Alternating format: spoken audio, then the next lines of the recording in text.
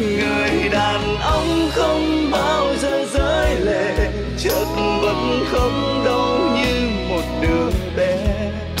Từng cơn đau trong tâm can sẽ coi lòng tan nát, người ơi